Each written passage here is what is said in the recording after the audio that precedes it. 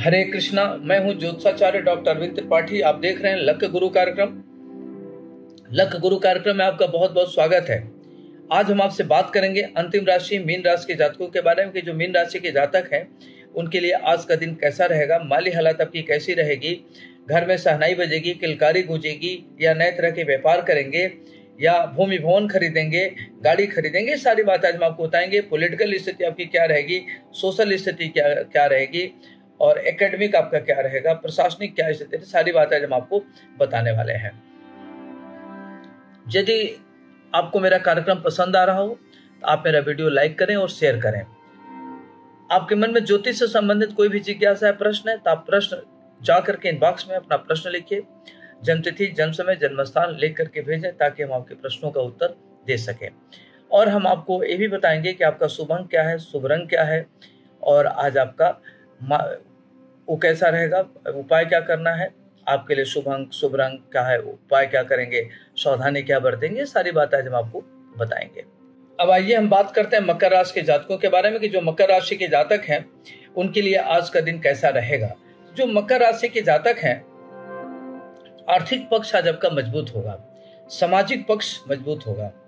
आज आप संगठनात्मक कार्यों में रुचि रखेंगे और आज अपनी लाइफ को एकदम नए तरीके से ऑर्गेनाइज करके चैनलाइज करके, कुछ बड़े रूप पर नए कार्य की शुरुआत कर सकते हैं, उसके लिए आज का दिन काफ़ी बेहतरीन होगा। आपके संघर्ष समाप्त होगा, लाभ होने वाली है, उपलब्धियों से मन प्रसन्न रहेगा प्रॉपर्टी भूमि इसे खरीदने से भी लाभ मिलने वाला है। जब कोई नया व्यापार, नया कार्य करने की आपने योजना बना रखी है तो उसमें भी आज आपको बड़ी सफलता मिलेगी। गुरुजनों के सहयोग से कुछ बड़ा कर सकते हैं, कुछ ऐसे मित्र मिलेंगे जो आपकी आर्थिक मदद करेंगे और आपको समय समय पर गाइड करते रहेंगे, जिससे आपका कार्य काफ़ी आगे बढ़ेगा।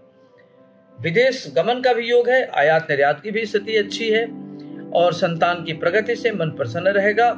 हेल्थ वेल्थ को लेकर के आपकी चिंता समाप्त होगी। बच्चों से मन प्रसन्न रहेगा, आप होनहार संततियों के पिता कहलाएँगे। यदि आप प्लान कर रहे हैं बच्चे के लिए, परिवार नियोज, परिवार वृद्धि के लिए, परिवार के लिए कोई प्लान कर रहे हैं तो उसमें आज आपको सफलता मिलेगी। प्रेम संबंधों में प्रगाढ़ता आएगी, किसी महिला मित्र के सहयोग से मन प्रसन्न रहेगा और कोई पुराना काम जो रुका हुआ है, उसकी होने की भी संभावना बन रही है। नए तरह के कार्यों से लाभ मिलेगा। और आज आप विदेश के लिए कुछ प्लान करते हैं, विदेश यात्रा के लिए, विदेश से धन के लिए, आयात निर्यात के लिए, कई योजना आपकी सफल होगी। इंडस्ट्री या स्टार्टअप, आप शुरू कर सकते हैं, उसके लिए भी आपका समय बढ़िया है। शत्रु परास्त होंगे और यदि कोर्ट कचहरी में कोई भी नया विवाद चल रहा होगा तो उसमें आज आपको विजय श्री मिलेगी और द्रुत गति की गाड़ी कतई न चलावे। और बहुत ज़्यादा किसी पर अंधविश्वास करना, अंधभक्ति करना, वो खतरनाक हो सकता है। तो उससे बचें और साझेदारी में कोई भी निर्णय, कार्य न ले तो अच्छा रहेगा।